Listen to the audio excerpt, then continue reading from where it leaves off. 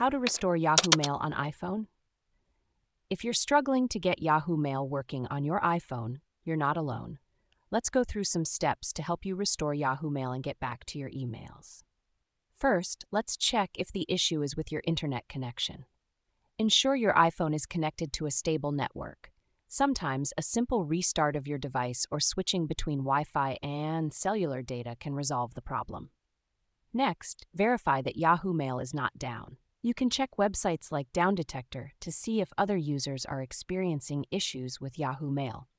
If it's a server problem, you'll just need to wait until the service is restored.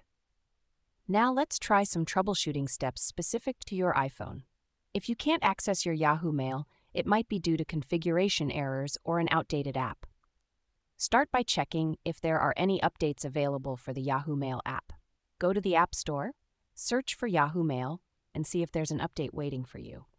Update the app, restart your iPhone, and then try logging in again. If updating the app doesn't work, try offloading the Yahoo Mail app. Go to Settings, scroll down to General, then tap on iPhone Storage. Find the Yahoo Mail app, tap on it, and select Offload App. Wait a few minutes and then reinstall the app from the App Store. Another effective solution is to delete and reinstall the Yahoo Mail app press and hold the Yahoo Mail app icon until it starts to jiggle, then tap the X to delete it. After deleting, restart your iPhone. Once it's back on, go to the App Store, search for Yahoo Mail, and download it again. If the issue persists, it might be related to your account settings. Try resetting your Yahoo Mail account on your iPhone. Go to Settings, then to Mail, Contacts, Calendar, and select your Yahoo account. Scroll down and choose to delete your Yahoo account from your iPhone.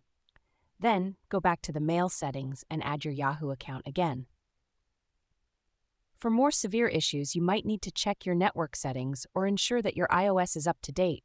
Sometimes, updating your iOS can resolve compatibility issues between the Yahoo Mail app and your iPhone. Finally, if none of these steps work, consider using the Yahoo Mail app instead of the built in Mail app on your iPhone.